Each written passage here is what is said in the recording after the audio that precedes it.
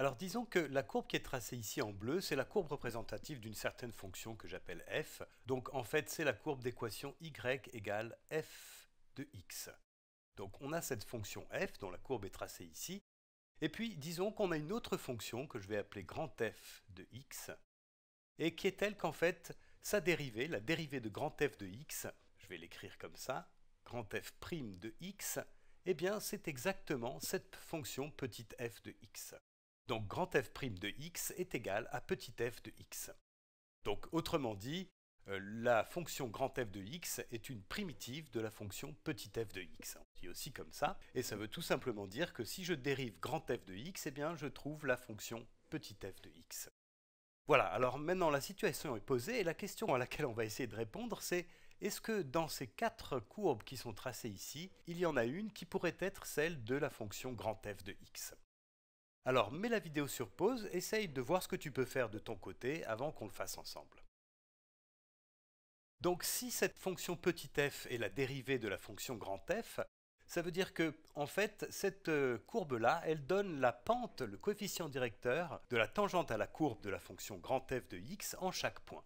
Donc par exemple, si je prends le point ici, euh, ce point-là, le point 1, x égale 1, eh bien petit f de 1 est égal à 3, ce qui veut dire qu'en ce point-là, la courbe représentative de la fonction f de x a une tangente de pente égale à 3. Alors maintenant, la question qu'il faut se poser, c'est qu'est-ce qu'on sait du coup sur les coefficients directeurs des tangentes à la courbe de f grâce à ce graphique qui est ici? Alors il y a déjà une chose qui est sûre, c'est que la courbe représentative de la fonction f est toujours au-dessus de l'axe des abscisses, ce qui veut dire que f de x est toujours positif, positif ou nul. Hein. En tout cas, ici, euh, quand x tend vers moins l'infini, on a une asymptote horizontale qui est l'axe des abscisses, mais la courbe est toujours au-dessus de cette asymptote. Hein. Donc f de x est toujours positif, ce qui veut dire que si je trace la courbe représentative de la fonction f, en fait, en chaque point de cette courbe, la pente sera positive. Autrement dit, la fonction grand f est toujours croissante. Elle est croissante. Alors ça, ça va nous permettre peut-être d'éliminer quelques propositions qui sont ici. Là, la première proposition, on voit bien que c'est une courbe croissante. En chaque point, la tangente a un coefficient directeur qui est positif. Hein. Donc ça, c'est un cas possible. Ici, c'est pareil. Alors là, on a une tangente qui a l'air euh, horizontale ici, et puis euh, là qui monte. Mais ça correspond aussi au fait que petit f de x est supérieur ou égal à 0.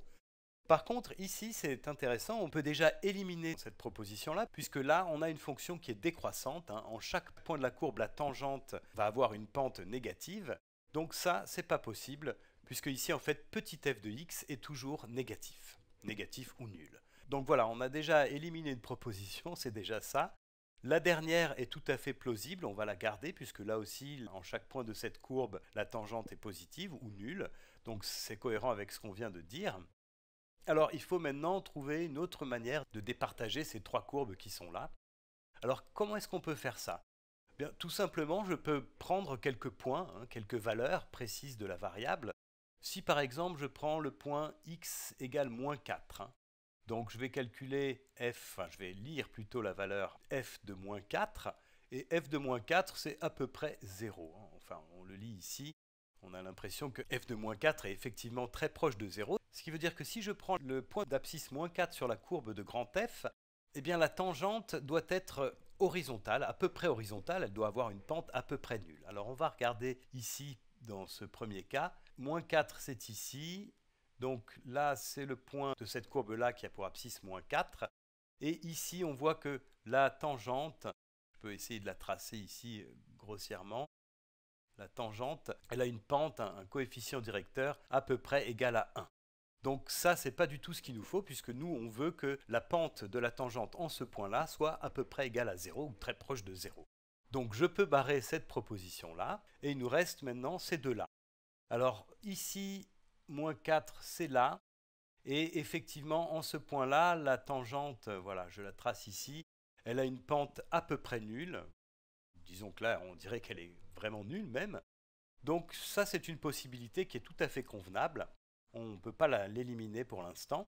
Et maintenant, on va regarder la dernière euh, proposition, celle-ci. Moins 4, c'est là.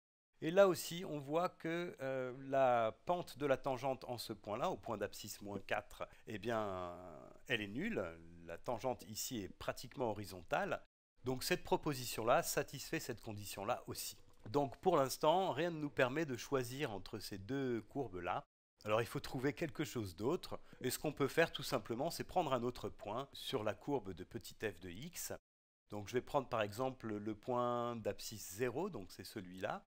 Et donc là, on lit sur la courbe que petit f de 0 est égal à 1.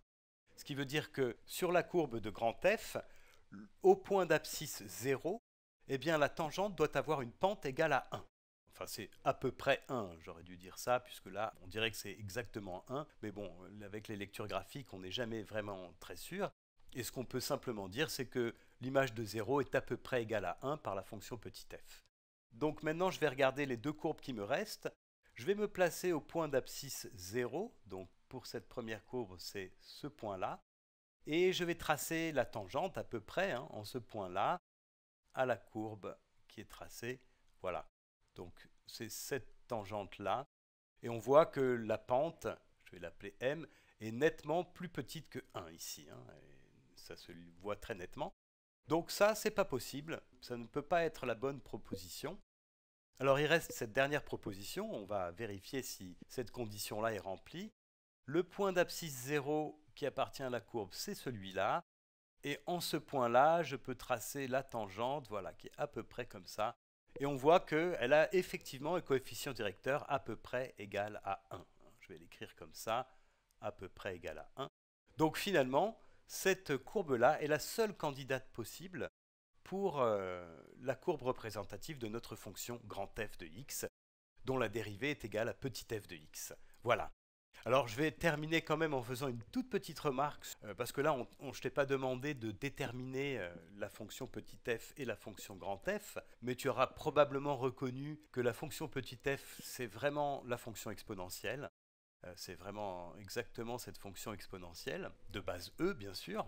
Et tu peux remarquer que la fonction f de x, eh c'est exactement la même que la fonction f de x. Si tu regardes les deux courbes, cette courbe-là et cette courbe-là sont exactement les mêmes. Et c'est tout à fait normal puisque on sait très bien que la dérivée de la fonction exponentielle, c'est la fonction exponentielle elle-même. Donc ici, si f de x est la fonction exponentielle, eh bien f de x sera aussi la fonction exponentielle.